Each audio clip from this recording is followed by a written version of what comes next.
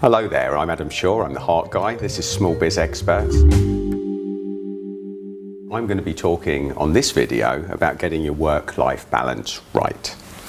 So, I used to work um, with the critically ill, with people in acute medicine during my time as a nurse. And a lot of the entrepreneurs that I spoke to that were coming in with heart attacks, sometimes strokes, sometimes cancer, all sorts of serious things would be happening to them, which were definitely exacerbated by the stress response. And a very frequent energy and dynamic for people who are entrepreneurs, who do run their own business, is that in their minds they want the business to be successful so the family will be looked after.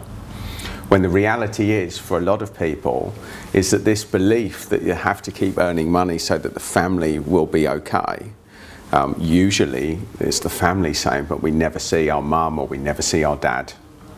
And this is the work-life balance where things go wrong because people don't communicate.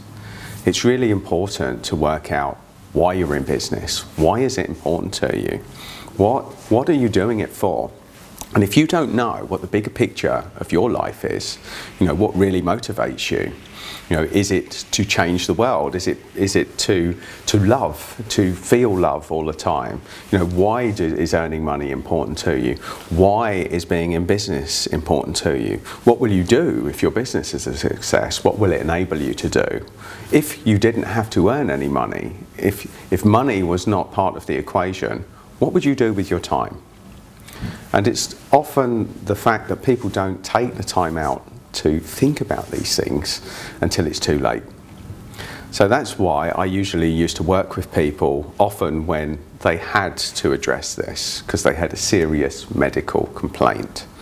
But quite honestly, I can see this coming years in advance through the people that I met and the energy I met, and being an entrepreneur myself. So in order to get your work-life balance right, there has to be a time that you take out of the business. Now this is tough for a lot of entrepreneurs, even if it's, even if it's one hour a day or one day of the week. You know, turn your phone off for a period. Be present with your family, your friends, whatever it is, whoever it is you're going to want to spend your time with because what you will realize, maybe not at this stage of your life, but certainly later in your life, is that your friends really matter.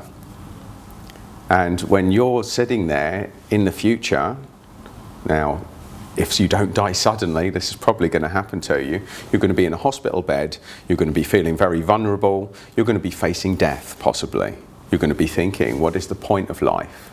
And I used to counsel people through that really difficult transition. And if you've gone through your life prioritizing your business over your friends, over your relationships, then you're in for a very lonely time at the end of your life. And you'll be sat there thinking, where did it all go wrong? So start thinking, who are the people that matter to you? Start prioritizing time, taking time out of your business to do the things with the people that you like spending time with, with the people that have been good to you, because it is a two-way street. So start thinking about it. Start thinking, if you want to know why, what is important to you, just ask yourself for what purpose. Why are you an entrepreneur? What is the purpose? You know, to earn money. Well, earn money for what purpose? Well, is it to look after your family? Is it to make a difference? You know, how would you invest? What charities would you invest in? How can you best spend your time to make a difference in people's lives? And so many people don't think about these things until it's too late. So there's my suggestion. Write out a list of what is important to you.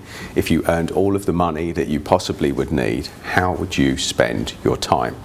And who would benefit from that time spent? So take time out and consider these things and make sure that you get to the best of your capabilities, your work-life balance correct. So that's my little tip for you to get you thinking about the bigger purpose of being in business or being an entrepreneur. Because if you're not prepared to even think about this now, there will be a day in the future where this will become very important. I'm Adam Shaw, I'm the Heart Guy, and this is Small Biz Experts. And remember to subscribe here so that you get more great content every Friday.